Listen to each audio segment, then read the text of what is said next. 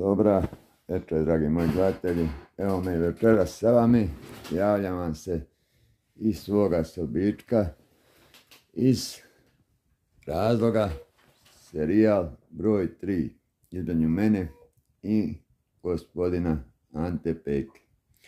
Pošto je gospodin Ante Peko podigao protiv mene već tužu i da sam se točno zapitao puno puta kako je se on mašio za džep da, da plati tu tužbu. A zna da od mene nema od dakle se naplati. Kad su na meni i sada materne mi gaće. A ja sam podigao tužbu protiv njega iz razloga teške klevete. Znači, deveti devetoga do 20, do e, peti desetoga sam bio pritvoren iz razloga nasilja. Međutim, predmet nije odbačen jer nije bio dovoljno dokaza i obustavljen. Da bi gospodin Ante Peko počinio jako teško krivično djelo, to jest klevetu. I to jako dobro, jako teško klevetu.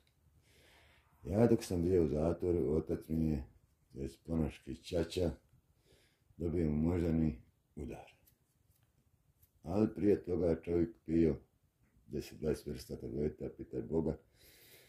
I šta se događa?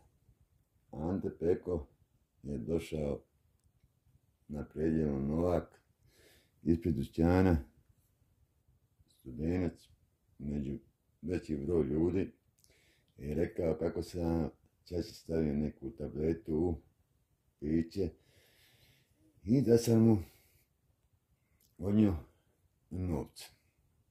Također pričao da sam materi ispegao karticu, da sam duže vrijeme krao kartice i da sam pegao kartice.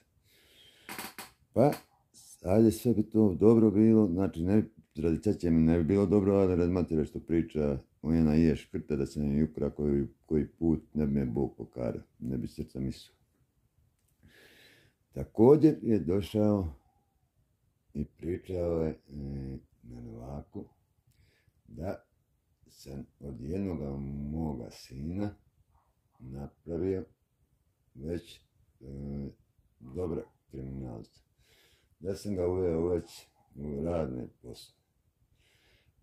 Pa, ja pošto imam na Dante Peke odakle naplatiti, ja osobno znam koliko ima koliko ima novca na banki uročena.